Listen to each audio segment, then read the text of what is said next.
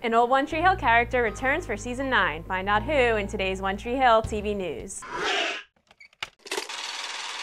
Chris Keller, who we haven't seen since season 4, is returning to One Tree Hill. Played by actor Tyler Hilton, Chris Keller was the singer songwriter character that we all love to hate. No word on how many episodes Hilton's appearance is for. He can currently be seen on VH1's sitcom Single Ladies. That's it for today's One Tree Hill TV news. Get more news and gossip on SideReel's One Tree Hill page and Facebook channel. One Tree Hill returns to the CW in 2012.